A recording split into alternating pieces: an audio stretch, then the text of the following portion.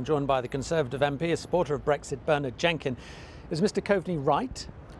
Uh, no, he's completely wrong. Uh, of course, no deal is a misnomer. No deal might mean no agreement with the EU as we leave, but it means we uh, fall into the WTO framework of rules and we trade on that basis. It's a, it's a framework for trading with the EU and the rest of the world.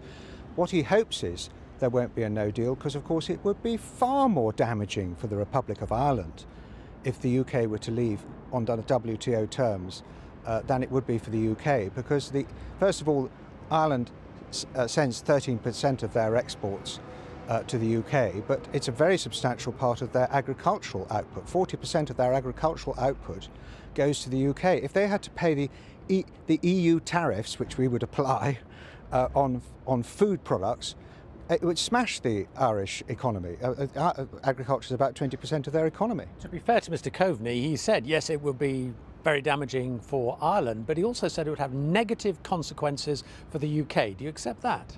Well, there are, uh, uh there's a balance to be struck. At the time we see the quality of the withdrawal agreement and the future framework agreement, are we going to be so still tied into the EU and so imprisoned by their threats and blandishments that we are giving in and not gaining self-government, in which case uh, I'm afraid I think the British people will want us to, want us to stick up for self-determination, self-government, um, and a free future in which we can prosper in the world like most other countries. And if we suffer some short-term disruption, which incidentally all the disruption will be as a result of EU dysfunctionality or even deliberate policy of the EU to try and force us to accept kind of some kind of punishment Brexit.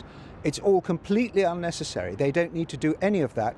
The obvious thing that Mr. Coveney should be pressing for is for the EU to agree to agree uh, an advanced free trade agreement with the whole of the UK between the whole of the UK and the EU because then there would be zero tariffs between the UK and the Republic of Ireland. That would be in his best interest, but it would mean implementing an invisible customs frontier in Northern Ireland, which of course was the policy of the previous government before the Varadkar administration was elected. You say there would only be short-term disruption. How then do you respond to those companies we've been hearing from like Airbus, Siemens and others who say this is much more significant and no deal is absolutely not what they want?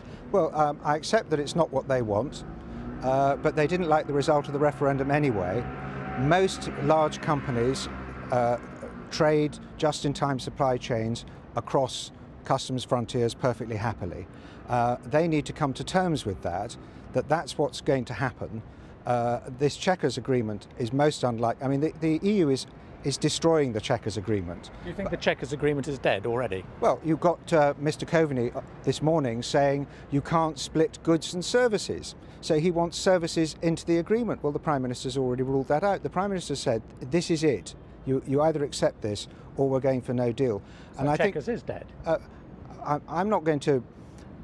The Prime Minister is pursuing the Chequers proposals. Uh, I think she's going to find it very difficult to make them fly and even if she got them got some kind of Chequers proposals agreed by the government by the by the EU she's still got to get it through the House of Commons. In in the public's mind it's the least popular thing to do. More people would rather remain in or leave without a deal in both cases than would go for the Chequers proposal this half in half out proposal. So Coveney is really gambling isn't he?